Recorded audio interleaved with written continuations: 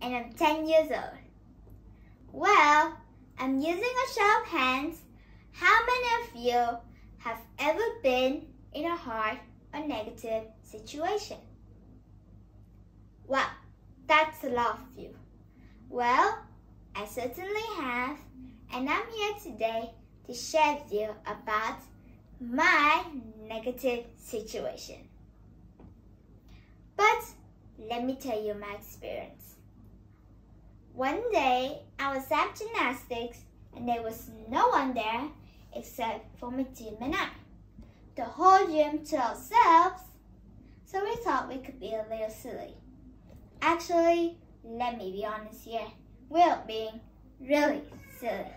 Like doing unsafe flips, talking when the teacher is talking, running around chasing each other. It was bad, completely unacceptable. My coach seems really mad because it was basically all the things she had previously told us not to do. So, as you might expect, we got a consequence.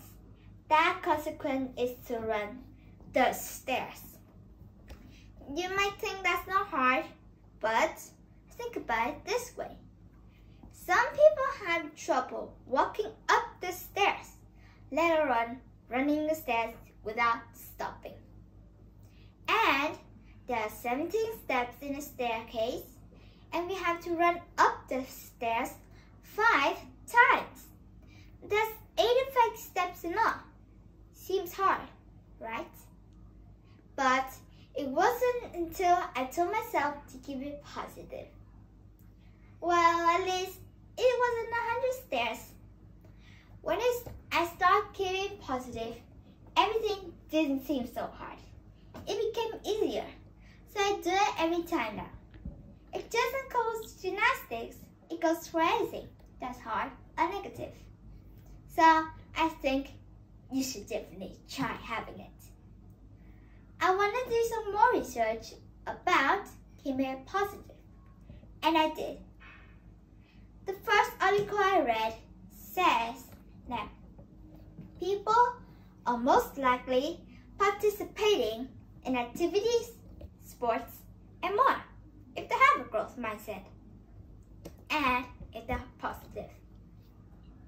The second article I read says that kids are most likely to succeed in school if they have a growth mindset and if they're positive.